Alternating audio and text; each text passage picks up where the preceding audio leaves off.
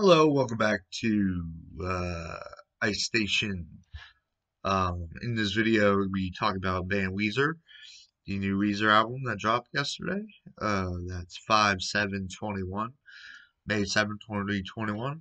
Um, I, I know I said in my on my page that I was gonna um, post this video yesterday. I apologize, day late. I was exhausted yesterday after doing a bunch of shit. Um, but yeah, if you watch this video, please subscribe. It helps me out so much. Um, like the video, that helps as well. And leave a comment so we can, so I get to know you, you get to know me, and we just create a network of happy networking people. Anyways, um, yeah, so go ahead and subscribe if you haven't already. Thank you for my current subscribers. You guys mean the world to me. You guys are awesome. So here's the joke of the day. Um, a lawyer says to his client, or soon to be client, So you want me to defend you? You got any money? And the client responds, No, I ain't got no money, but I got a 1928 Ford. And he's like, and then the lawyer says, response, uh, You can raise money by selling it. And so, what do they? So that's good. So, what do they accuse you of stealing? And I'll let you know the answer to the riddle, the joke, the end of this video. So be sure to stay tuned to the whole thing. And subscribe. Alright, it's the last time I'll mention it. Maybe. Alright, so Van Weezer. Yes, not Van Halen, Van Weezer. By Weezer. Uh, Weezer's 15th album. Um, and it comes only four months after their last album, which was released in January of this year, called OK Human. And that's a pretty good album, you know, for what Weezer is. Um, kind of turn loneliness into apathy, make you fantasize about girls, do drugs. They're a pro pot man, which I don't really care. I don't smoke pot, but if you do, I don't care. I'd even go far as to say legalize it. Anyway, um, yeah, so it, it really is just another Weezer album. All their albums sound the same. They don't really differentiate themselves from album to album like some bands do. um, there are a few songs that kind of sound like the, the, same tone that Eddie Van Halen would use on his guitar. Um, same kind of like uh, tone and same style of playing, same riff, and it re- it resembles Van Halen. But that's like one or two songs on the whole album, and they're not even the first song of the album. So, I don't know. It's a gimmick, you know. Obviously, like they always do. Weezer always has a gimmick. Uh, I like Weezer. Blue album is gold. It's a great album. You know, I had some filler on it.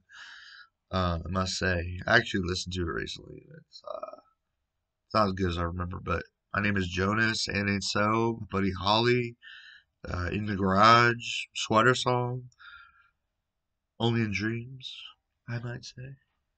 Anyway, um, So yeah, it's a Weezer album. He he drones up Rivers Cuomo, the singer, songwriter, and the brainchild behind Weezer. Um, he uh he drones on about loneliness and wanting to get one more hit of whatever it is he's smoking. Um, some good pop sensibilities. These are intelligent songs, but kind of like dumb at the same time. Uh, the lyrics are kind of trite and simple, and sometimes I dare say cheesy.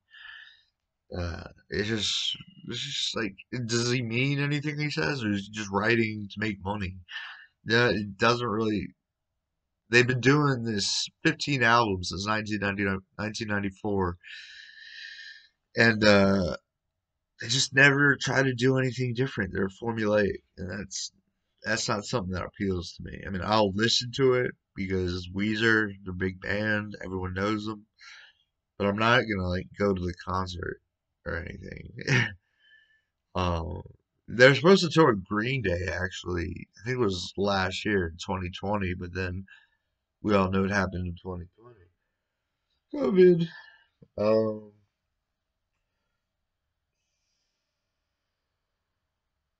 yeah, I think the whole Van Van Weezer title and the style, the the style of playing that mimics Eddie Van Halen is just a gimmick.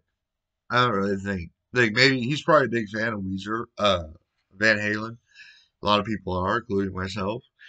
Um, but if he wanted to do it justice, he would have done a full album deep dive. You know, that's what I think. Drugs.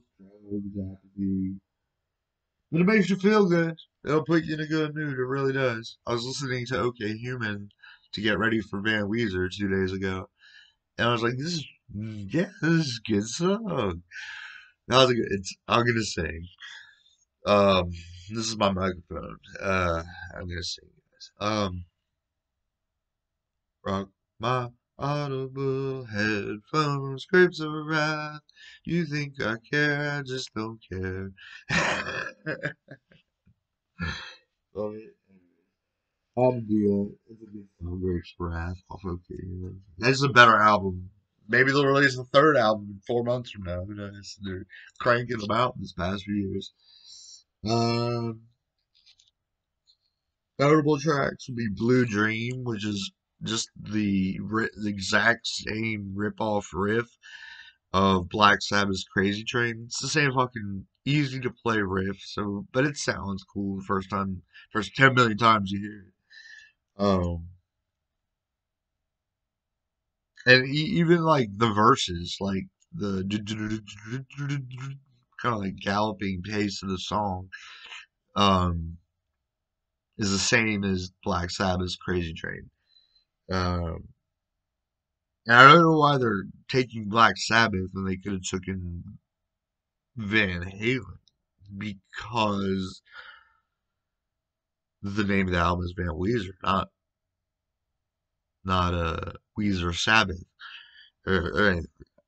Um, yeah, and then Precious Metal Girls, an acoustic love song. It's the last song of the album. It's pretty cool. I have a girlfriend. I'm in love, guys, so I liked it. And maybe I'll play it for my girlfriend when she's out of quarantine. Alright, so the answer to the joke is well, let's first recap the joke. Uh, lawyer says to his client, So you want me to defend you? Have you got any money?